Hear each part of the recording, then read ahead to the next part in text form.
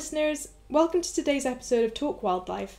I'm your host, Flo, and I'm here again with our co host, Kevin. Our topic today is going to be why are we seeing more rats during lockdown? So, let's talk wildlife. So, before we start the main topic today, I wanted to talk about something that I saw earlier on, which was quite interesting. And that is that this afternoon, when we were eating lunch, I was sitting looking out the window when I suddenly saw what I thought was a dead blackbird lying in the earth. And I said to Kevin, There's a dead blackbird down on the ground. And he looked over and he said, No, don't worry, it's not dead, it's just sunbathing. And I looked again and I noticed that the blackbird was actually moving his head. It was a male blackbird, adult. And I thought it would be interesting for anyone who doesn't know why they sunbathe, exactly why they do this behaviour. Now, obviously, humans like to sunbathe, but I believe it's for very different reasons, unless, of course, you're doing it to pick parasites out of your feathers. So, Kevin, why don't you explain just really quickly why blackbirds sunbathe? Yeah, well, I'll do that. But firstly, it was quite funny your your panic level uh, seeing the blackbird there, and I was so calm, like ah, it's just sunbathing, and you're like, oh no. It's because we watch them every day, so to see one of our local blackbirds, what I thought dead, it was uh, quite upsetting. No, I agree. As soon as I took one look, I knew what kind of behaviour they were displaying. Um, so, what reason would a blackbird need? Um, to sunbathe. You know, us humans do it to get a tan or to relax, but blackbirds do it for a whole different reason. So, one of the reasons they sunbathe is to help remove ectoparasites. The warmth from the sun uh, is thought to help move the parasites to make it easier for them to um, kind of get rid of the insects and, and you know, kind of de delice themselves, as to say. I've also heard that the heat from the sun can help them to spread their preen oil more over their feathers. So, for anyone who doesn't know, birds have a preen gland just uh, at the base of their tail, and it looks like this really disgusting, sticky up bit of skin. But they basically peck the preen gland, and it helps them to spread oils over their feathers, and that helps to waterproof them. So, when the preen oil goes around their feathers because of the heat from the sun, it just helps to waterproof them and give them good feather condition and protect the feathers. So, the reason behind uh, blackbird sunbathing is he's taking care of himself. He's making sure he's clean and he's making sure his feathers are in a good condition. Yeah, so if you ever see a bird sunbathing, have a look what they do afterwards. So the blackbird we saw today, as soon as he finished sunbathing, was scratching and preening and eating the little uh, ectoparasites that were all over him. So if you see them displaying this behaviour after sunbathing, then you can see the exact reason for the sunbathing in action. I can see though why Flo maybe thought the bird was injured because their wings were spread out, the tail was spread out. It almost looked like they've just fallen from the sky and gone splat onto the ground. So, anyway, on to the main topic of today's podcast. I've seen on a lot of Facebook pages, and Kevin's heard from a lot of clients that people seem to be seeing a lot more rats lately. And we believe this is linked to the lockdown. So, Kevin, first of all, you've been having more inquiries than usual lately regarding people having rat problems. How many inquiries do you usually get, and how does that compare to this year? I've just been inundated with rat calls so far this year, and it's off off the record. From you know, I've got stats going back to 2012, really in depth dates, times, areas where all my my recordings come in from.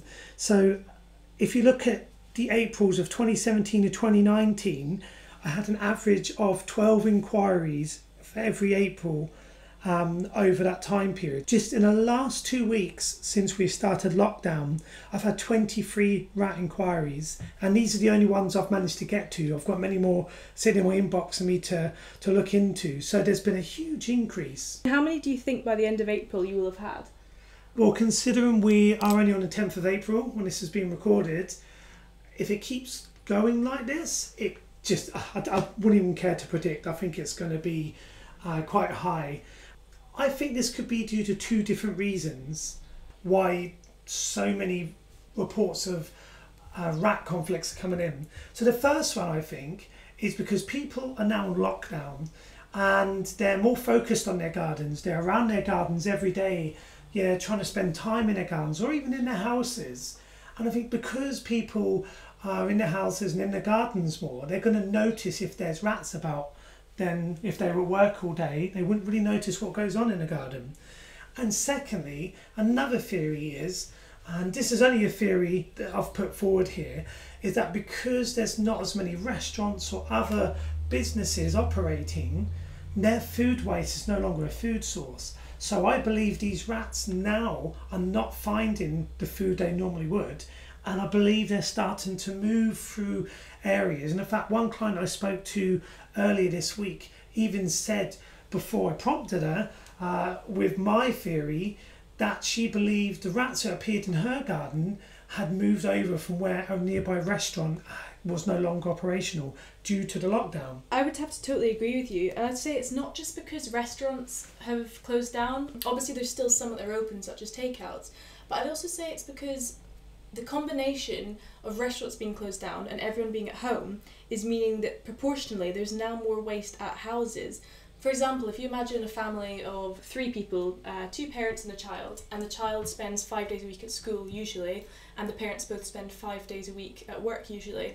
Now, the child may have breakfast at home, or they may even have a breakfast club at school which they go to, and they'll probably be having lunch at school as well. So that's one to two meals, five days a week, both being had at school, and therefore the waste being generated and stored until collection at the school.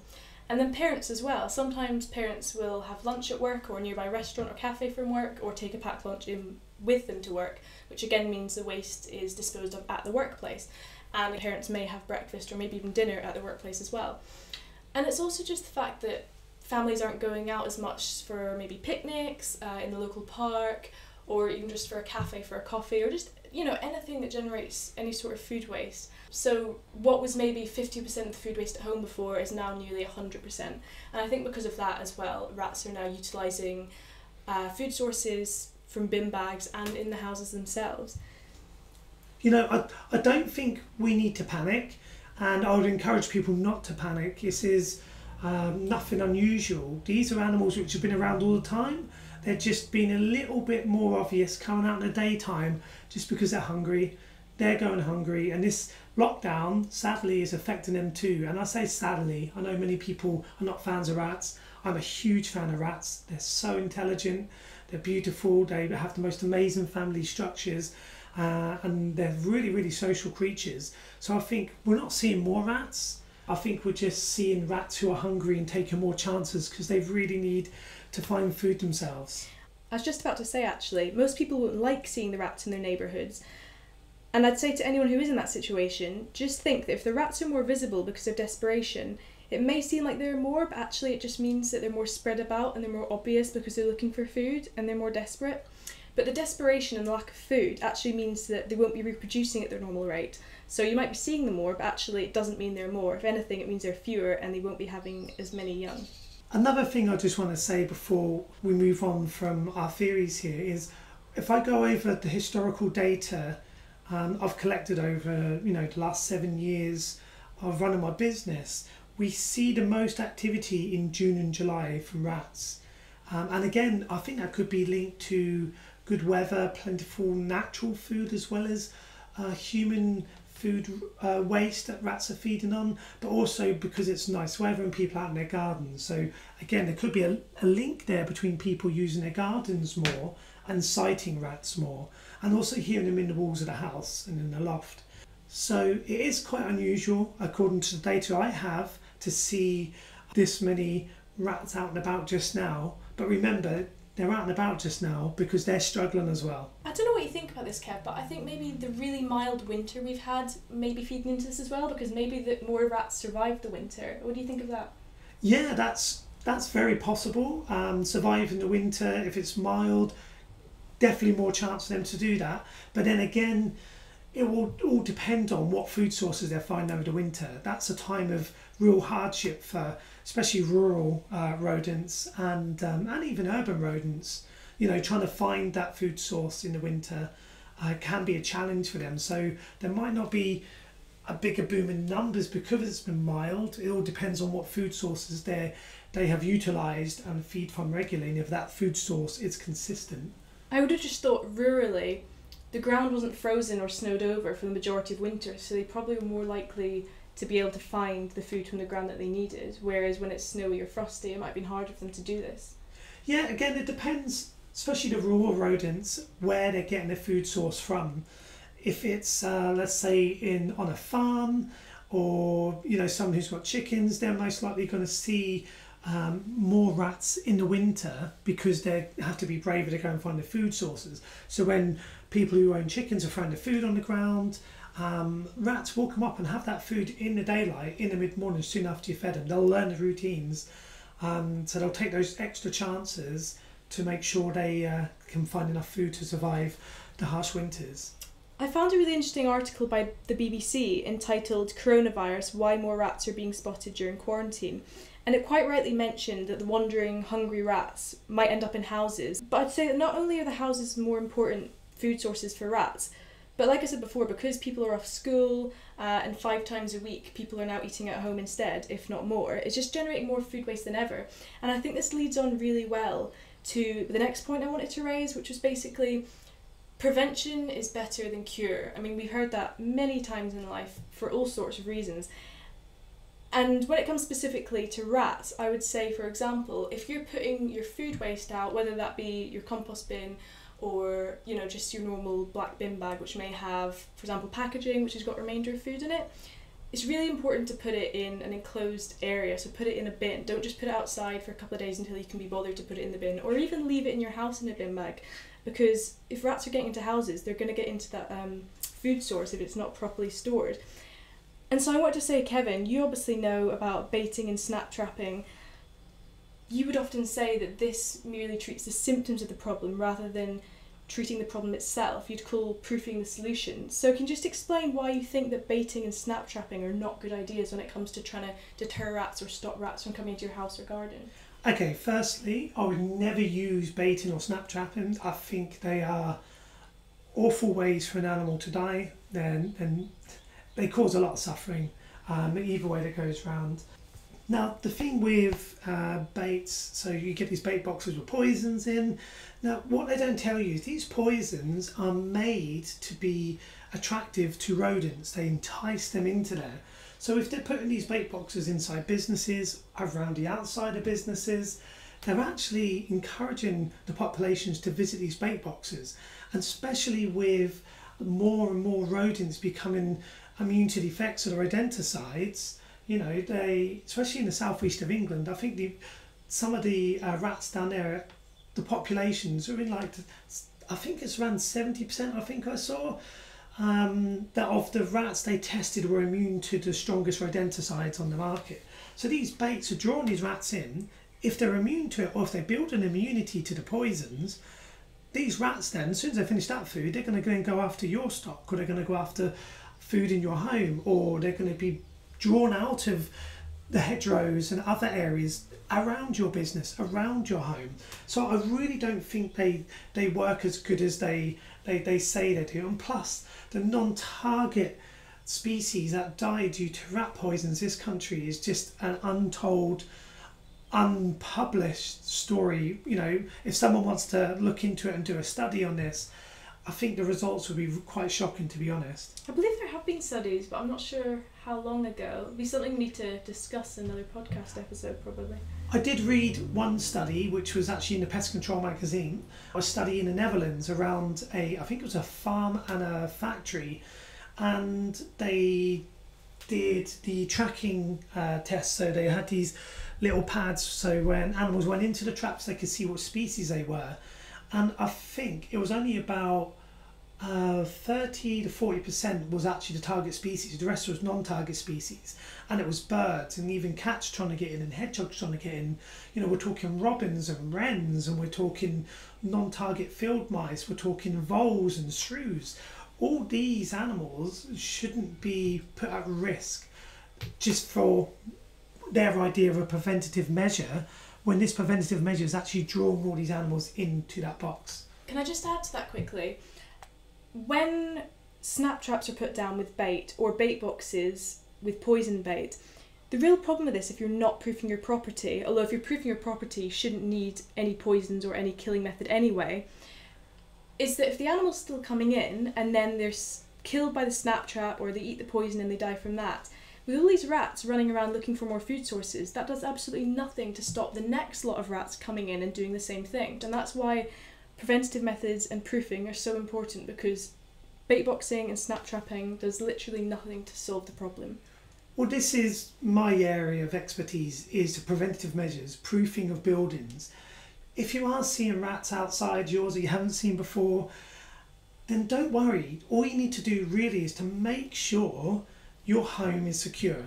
And that is the key here. The best form of pest control, and I hate using that word because I don't see them as pests, but the best form of pest control is actually stopping them getting into your building in the first place. If they can't get in, there's no risk to your home, there's no risk to your business.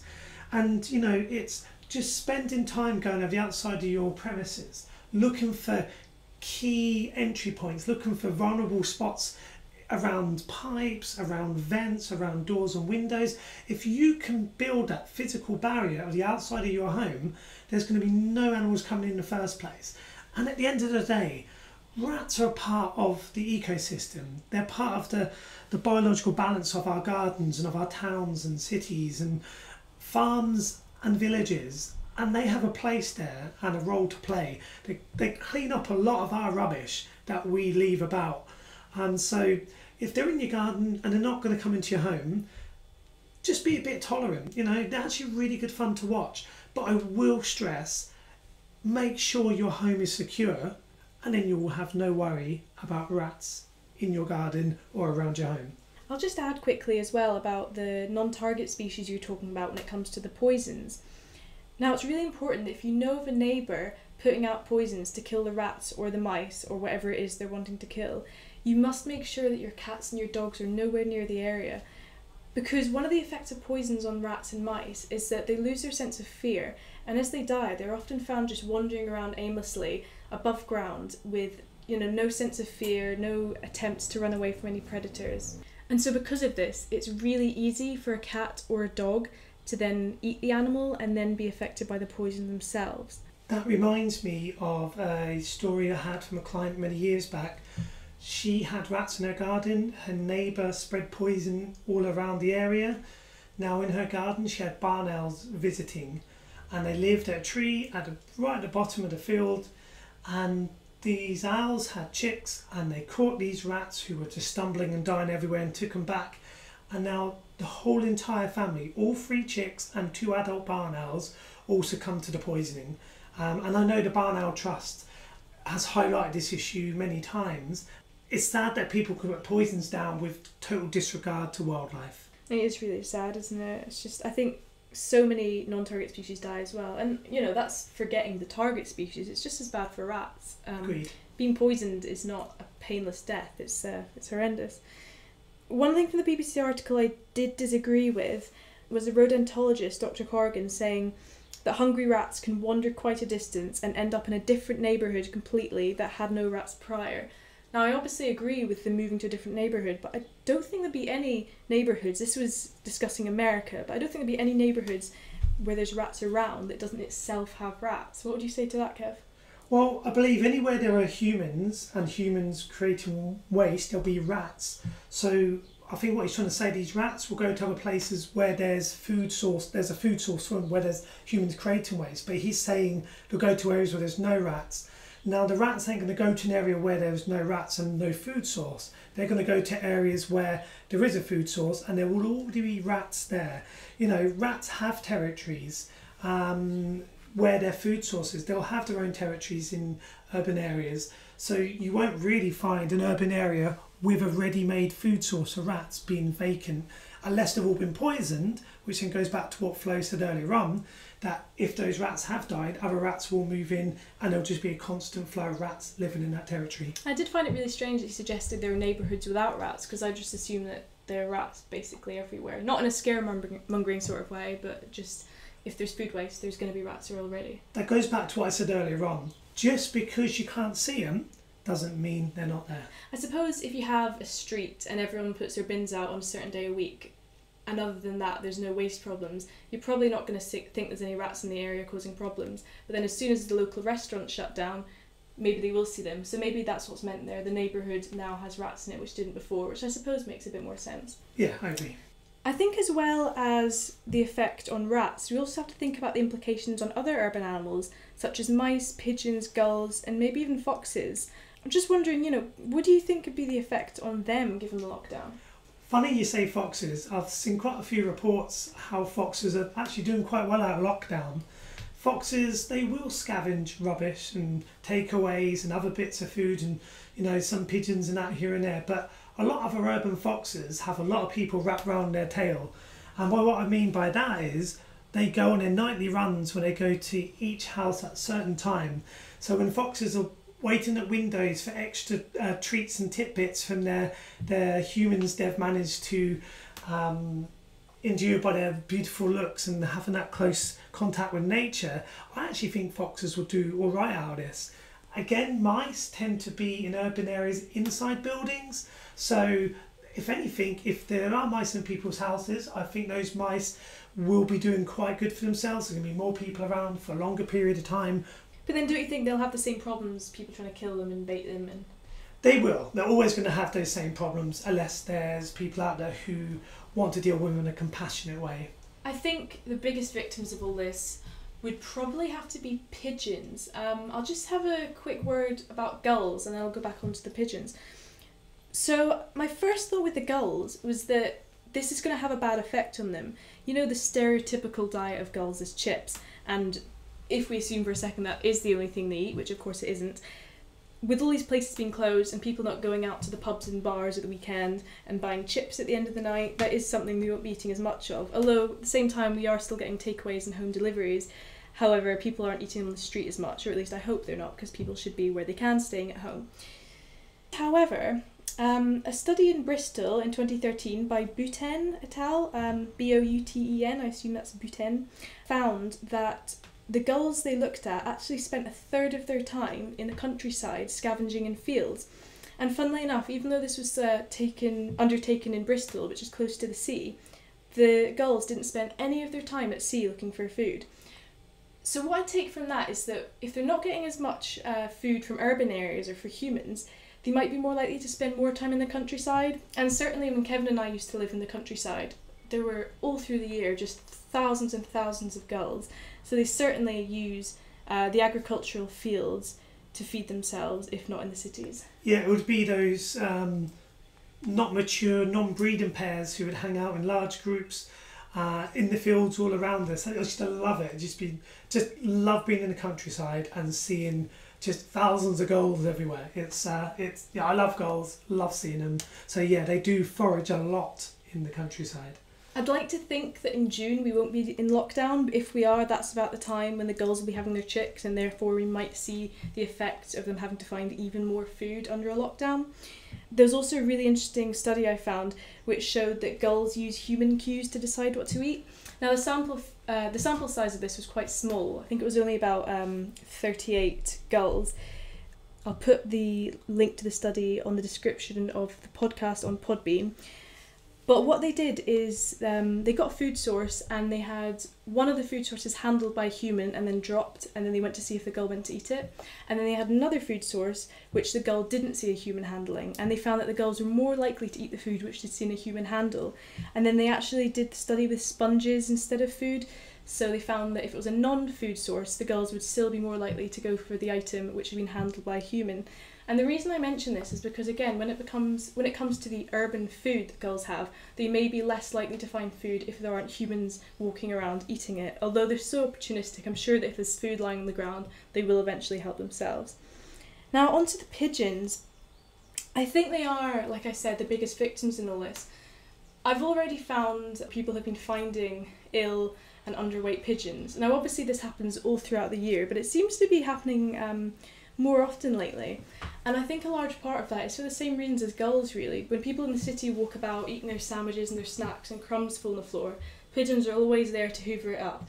And a lot of people purposely feed pigeons as well, because although they're quite unpopular, like gulls are, I think they're a lot more popular than gulls. I think because you don't hear of pigeons stealing food from people's hands and things like that, and being a lot smaller, and the fact they're not easily going to do injury to anyone, I think it makes them a bit more popular than gulls. I know a lot of people disagree with feeding pigeons because they don't think that we should be increasing their population because that won't be good for them when there's so many already. And also because it's not always good for a population of a species to rely on humans in case that ever goes away, which is exactly what's happening at the moment. The pigeons in the cities are suffering because the human food source they usually rely on isn't there. However, at the moment, I would say if you can feed the pigeons, please do because this lockdown is hopefully going to be short term. And when we come out of it, the pigeons should do better again. But the ones there at the moment who are relying on a certain level of being fed by humans are suffering. So if you can, just to maintain the population at what it is, I would say feed the pigeons. Oh, I totally agree. Um, the pigeons are in desperate need of help right now, and I know there's many groups out there, um, especially on Facebook and other social media platforms, which you know help and feed and rescue and rehabilitate their local pigeons. And there's an army of people out there taking upon themselves to help these birds, and they need it. So if you've got a pigeon population nearby, on your one walk of the day, your one exercise of the day, maybe just drop by with a little bit of food, just a little something for them to eat, you know, because they might need that extra bit of care right now. Yeah, as I said, I know that people don't necessarily agree with uh, increasing the populations by feeding them more and more, but at the moment, I would say because there's so few people out and about and so few places now open for food, it's not adding to the population, it's just sustaining them in the same sort of way as people stopping the feeding of bread to swans had bad impacts on their population sizes or the health of the populations that still existed. It's not because bread's good for them, and it's not because feeding pigeons artificially is necessarily good for them. But when a species, or population of a species even, has bred over the years because it's used to being sustained by a certain level of human feeding, if that feed- feeding suddenly goes away, they're going to struggle. And because they've relied on us for so long, it's only fair that we just maintain them for this time by feeding them until things go back to normal again.